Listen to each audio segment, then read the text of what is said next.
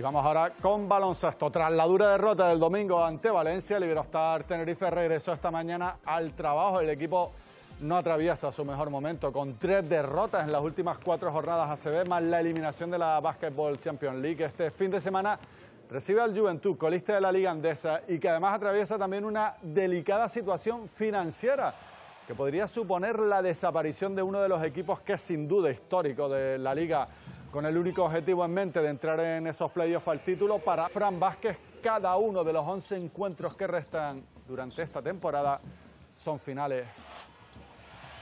Son 11, 11 finales para nosotros, por así decirlo, y las 11 vamos a ir a, muerte, vamos a, intentar jugar lo mejor posible y, si tenemos que sufrir los 40 minutos y ganar el último segundo, lo, lo, haremos. ¿no? Un partido de trampa, un partido que ellos necesitan victoria sí o sí, espero que se normalice todo que puedan buscar una solución para lo que sea exteriormente y, sobre todo pues, bueno, que a partir del sábado pues tengan una mejor oportunidad deportivamente.